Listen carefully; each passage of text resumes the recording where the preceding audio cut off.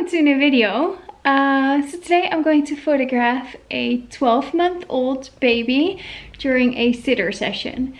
Uh, normally a sitter session is for babies between around 7 to 9 months old. So they just learn how to sit by themselves.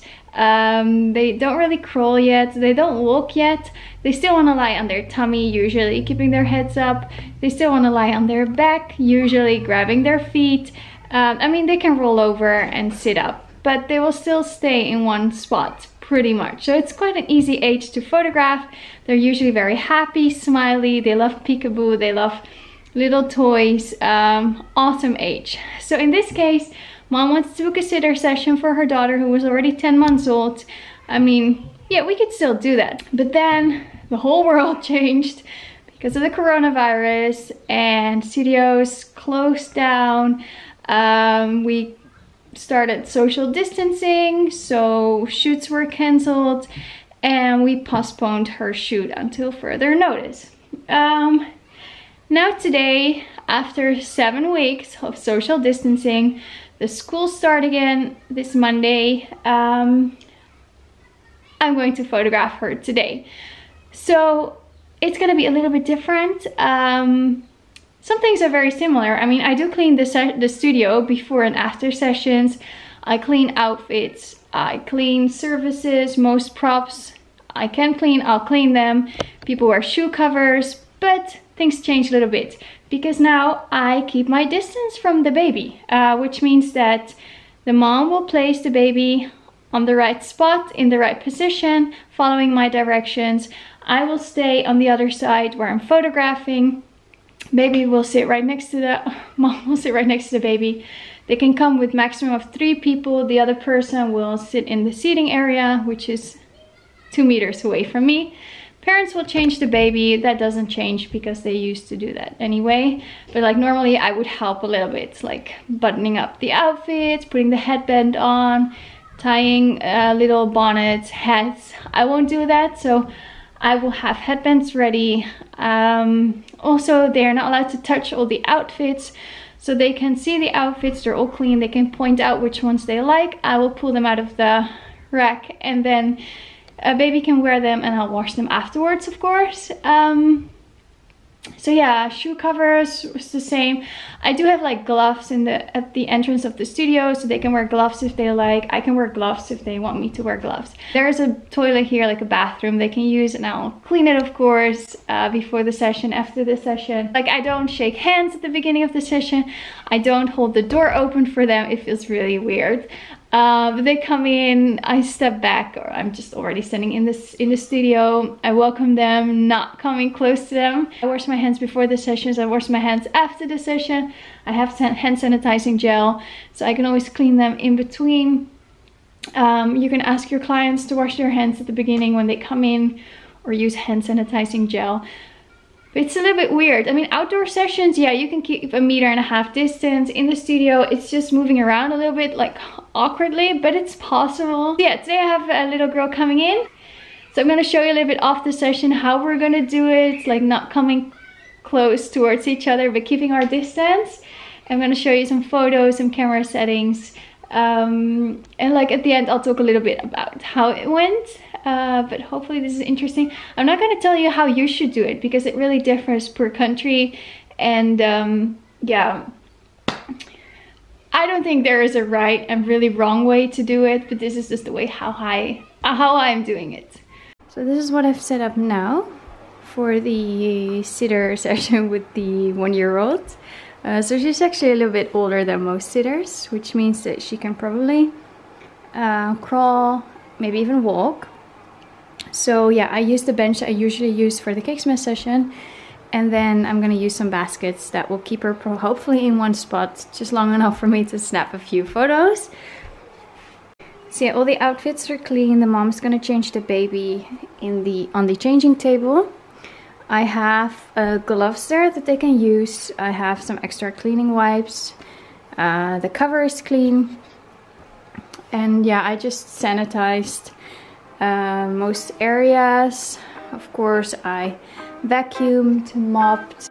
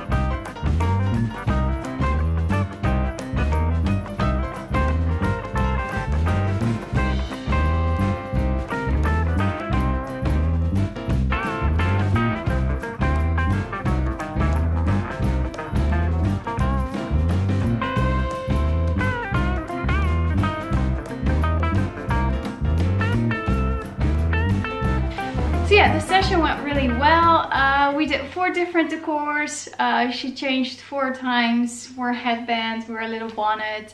Uh, she was not smiling a lot because I mean she's 12 months old. So I mean she's only she has only seen her direct family for the last seven weeks. She hasn't been to daycare. Uh, she's not really used to seeing strangers a lot at this point. Also 12 months old is kind of the age where they really cling to their parents and the outside world is a little bit scary but I mean she came in and I was doing peekaboo from you know keeping in my distance but she still enjoyed it. I had a little toy that she really liked. I was singing songs. Uh, but yeah, normally the parents could maybe like stand straight behind me on my level and just like make silly faces right behind my head. We couldn't do that because of the keeping a meter and a half distance. So yeah, I had to do it all by myself, but it worked pretty well. We did like animal sounds, like the sound of the horse. She was kind of like mimicking me. I mean, with the face mask, that would be so hard. But in this case, I got some smiles uh, but just like this big bright eyes just looking curious into the world i think those photos are the best and we got tons of those so that's really cute yeah how did it go i already explained in the email before that i was not going to touch the baby not pose her but i don't do that anyway from like four months upwards so like only newborns um i pose i touch which is why i'm not photographing newborns at the moment but yeah from like four months and older, the baby can be put in a certain spot, on, in a certain position, so either like sitting or on their bellies or lying on their backs. And then uh, parents can place the baby there. Following my directions, I will stay uh, on the other side, keeping my distance and taking the photos. So that worked really well. Mom was changing the baby. Um, I gave some directions as to where to place the headband a little bit and then like with a bonnet like to tie it it's a little bit different than I would usually do it because then I would help them. But uh, it went really well. Uh, we kept our distance. I haven't touched the baby. I haven't touched the uh, clients. And um, yeah. Now I'm just gonna clean everything again. I'm gonna wash the outfits. See of course I sent them an email the night before. Like if you have any um, health complaints let me know and then we'll reschedule. So if someone is coughing, sneezing, having a fever, not feeling great, we reschedule, no fees apply because of course I don't want to have sick people here. Also for myself, if I don't feel great, I start coughing, sneezing, whatever, I will cancel the session. So, uh, but yeah, besides that, I think things went pretty well. So I think I can slowly start doing sessions again my school starts, so I have some more time to do sessions. Of course, outdoor sessions are possible where you keep your distance. You can shoot like families. Here, people from one household can come together. And then if you have other people coming to your home, it's a maximum of three people at the moment, which is why I'm also asking people not to come with more than three people, including the baby. And um, yeah, just keeping distance. And of course you can do like cool like front door sessions or like window sessions where you shoot inside people, their homes. Um, I've seen that happening. Yeah, some photographers let parents shoot photos of their own newborns uh, with some directions or like put them on a white bed sheet, have the light come from the top, not from the bottom. Uh, place the baby, for example, like this and this, and then they'll edit the photo for them. So they kind of have like a newborn photo. Uh, we have another press conference tonight where they're going to talk about contact professions. Yeah, let's see what they say and then maybe newborn sessions can start again. Okay, breaking news. Um, last night there was a press conference. The Prime Minister spoke and contact professions are allowed again. So I read a lot of positive messages on Facebook and Instagram of other newborn baby photographers who are super excited to go back to photographing post newborns where you're actually touching the newborn. Face masks are not obligatory, um, only in public transportation, but I have my face mask which I can use during a newborn session. I have disposable gloves that are very soft. Um, I can use those during a newborn session as well. So yeah, these are actually the gloves that I have and I still have to find out which ones I like the most. I think as far as safety, I mean posing without gloves, like the newborns, you have a lot of grip, but these ones still feel really good as well. Like it doesn't feel like something I'm holding is gonna slip out of my hand, uh, but I think it's just still finding out what works best. But I mean, hand, yeah, using hand sanitizing gel and washing your hands before, after, during session will also work, like not touching your face. And of course, if you have any symptoms, if your customers, clients um, let you know beforehand that they have symptoms, cancel the session for sure.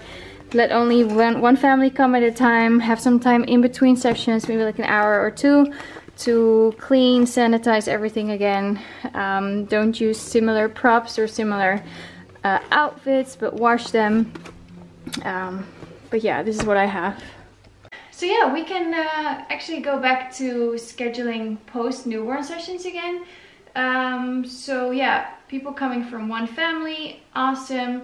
Um, not showing any symptoms, they can come and yeah, as far as possible, we'll keep our distance, but we can touch again the clients, the customers. So, which is also great during any other session that we can adjust dresses, um, move around the hair, help with posing. Um, yeah, just come close again to the customers. The same with smash sessions, sitter sessions. Of course, you can do them while keeping your distance. But I mean, if you want to help the baby giving them a bite from the cake with a little spoon, it's great. If you want to help adjust a headband of a baby or um, it's great that we can touch again. Uh, of course, washing hands before, after, during sessions, keeping the studio clean, that's just like normal. Uh, keeping props clean, so that's all great. But yeah, last night they did announce that contact professions are allowed again uh, to be in business. So hairdressers, nail salons, um, yeah, just people touching their clients. We can work again, uh, so that's great. So that's just a little side note. Like I have quite a lot of requests from customers wanting to book a session. So they're all happy they can come. But of course, I cannot all plan their sessions the first week uh, starting Monday. So I'm just gonna see how many I can schedule in the first few weeks uh, but I have limited time available because schools don't reopen fully yet. So maybe now I can only do five sessions a week, but I mean, it's a start, so that's great. I thought I'd show you my face mask. So it is a fabric one. Um, I ordered it from a company which usually makes a lot of like newborn outfits and props. Uh, I have a lovely design, pink with flowers. Um, and I can insert like a filter. So like kitchen towel, paper, I don't know what it's called, toilet paper. I think you can use different materials to uh, insert your filter and this face mask I can wash at 60 maybe even 90 degrees Celsius so it, go, it goes like this and then I'll attach it somehow I'm not wearing glasses so that's great because they won't fog up fog up sorry um, I said it correctly but just it sounded wrong it feels so weird um, but yeah when you're photographing sitters and cake smashers they're not gonna smile at you when you sing songs and play peekaboo like this. But for a newborn session, session, I think it's great. It's not a medically approved one. They're, you know, for the hospitals. So this is just a design. There's so many tutorials online on how to create your own DIY hand-sewn face mask. But this one I just ordered online. Um, also to support her business. Um, so yeah, it has stretchy um, strings and um, it'll be like this and um, yeah so it, it looks really weird and it feels really weird as well I mean I have one I can wash it I can insert a filter so that's great yeah I think there are ways to work again in a studio but it's challenging it's a little bit different and don't say that I'm super wrong because things differ in my country maybe than in your country. Here in the Netherlands we haven't had a complete lockdown. We were still allowed to go outside, the kids were allowed to play together outside. Uh, tons of shops were still open, like malls were open. So yeah, people who practice a contact profession were not allowed to practice their profession uh, for the last six, seven weeks. So no touching of clients.